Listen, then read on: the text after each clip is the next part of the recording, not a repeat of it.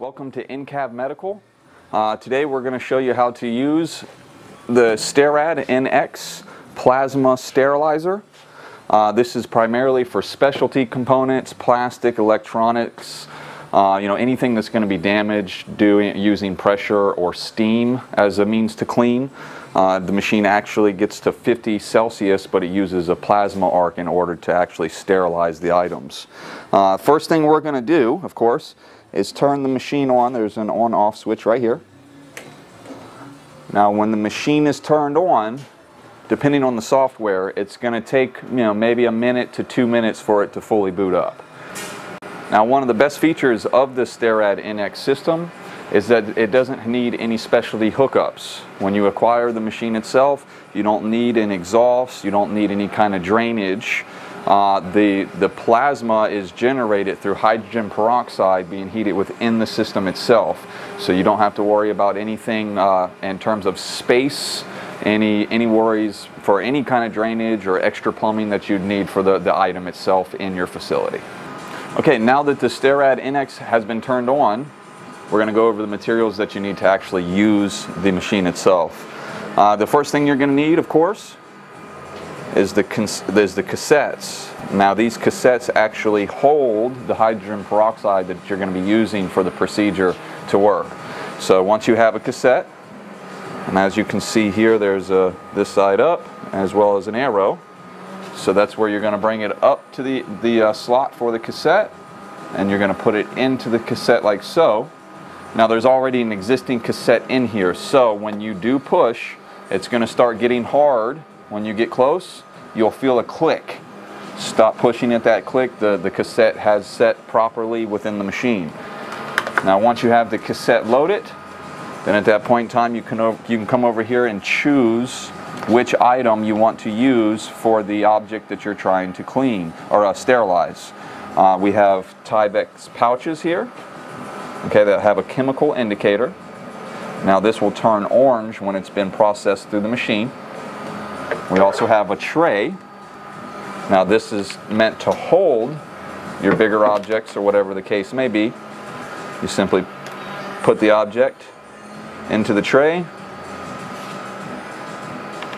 You can also incorporate a chemical indicator strip so that way you know for a fact that it has been properly sterilized when you're done.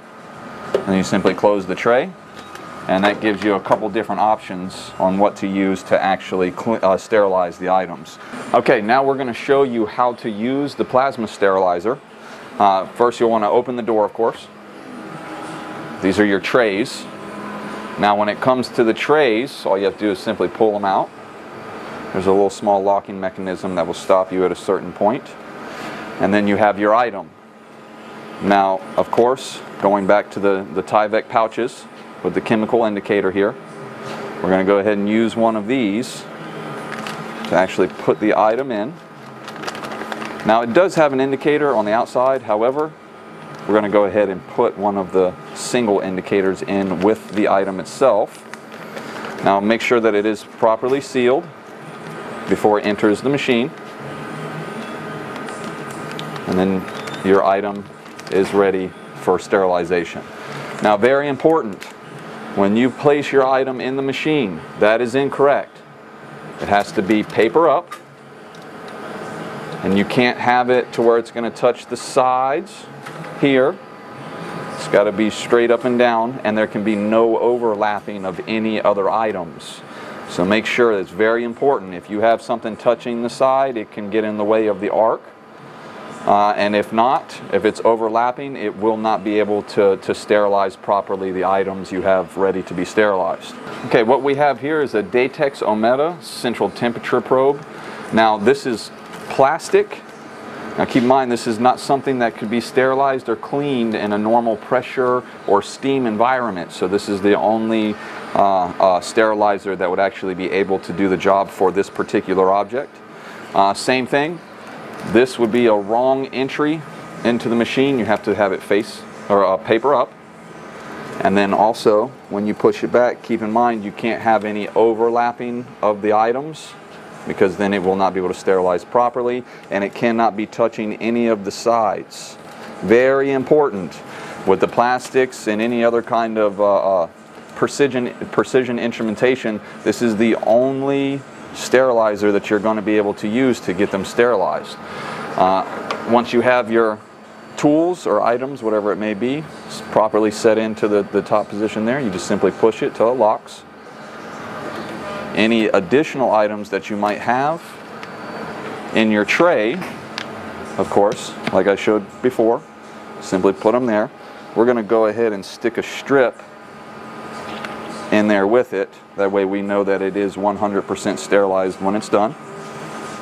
I'm going to close it. Let it lock. And then what we're going to do is simply put it back on the tray. Same principle. And then we're going to push it shut.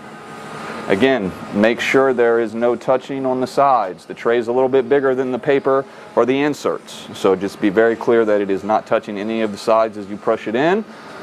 It's not all the way to the back. And then if you have all of those things done, you're ready to go ahead and close the sterilizer and begin the sterilization.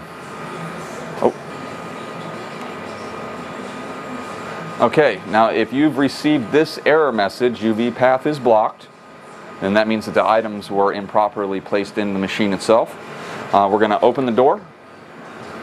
Now as you can see where the shelves are, the top shelf is out.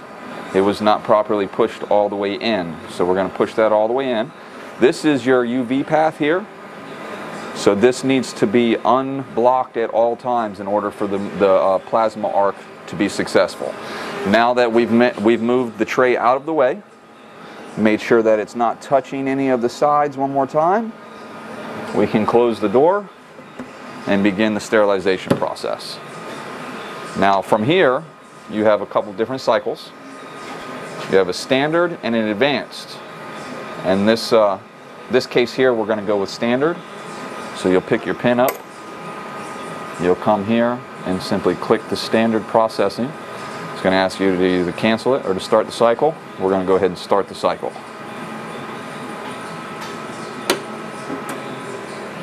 Now this is the time that it's going to take for your items to be fully sterilized.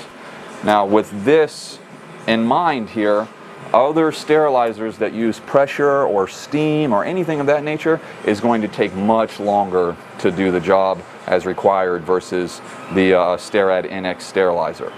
Okay, now this sterilizer compared to other sterilizers, uh, number one, you'll notice the time that it takes. Uh, using uh, pressure, steam, uh, or the gas ones, there's a big difference. This is going to take us 30 minutes. Uh, this, the uh, gas is going to take up to 24 hours. Uh, you also have the steam and pressure generator ones that, that can take you know, an hour to two hours to do the same, same sterilization process. Now also, the, let's say the pressure and the gas, they're not going to allow you to clean certain tools like laparoscopy uh, utensils or uh, anything specialty tool wise that would be damaged. You're not going to be able to do it in one of those other machines. This is the only one that not only provide, provides very quick uh, uh cleaning of the items, uh, sterilization, but any item that you need cleaned or sterilized in this matter is going to be able to be placed in here. Okay, now we're going to wait the 25 minutes for the, the sterilization process to, to uh, be done. And then at that point, we'll come back and take a look at uh, the objects themselves. Thank you. Okay, now we've come to check the, the process of the sterilization. Still have about three and a half minutes left. Uh, once it's done, we're going to show you what to look for in terms of the markers on the items and uh, show you how everything is uh, sterilized at the end. Okay, now that the process has been completed, the screen is going to turn green and it's going to say cycle completed successfully. At that point in time, all you have to do is take your pen, come over here to and hit the little done button. Let's say printing in prog progress. And then from this is in reference to what you've actually just got done sterilizing. And then you go up here, it'll tell you to please open the door.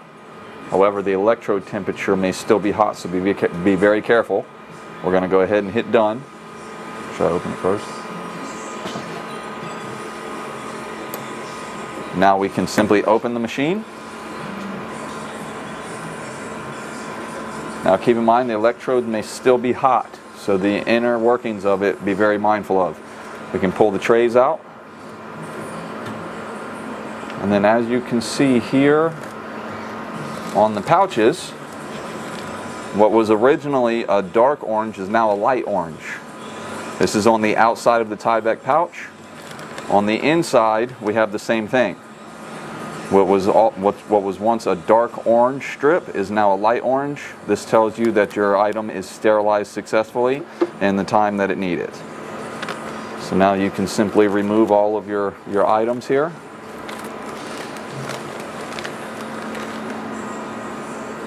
Push that back, that locks, and that out.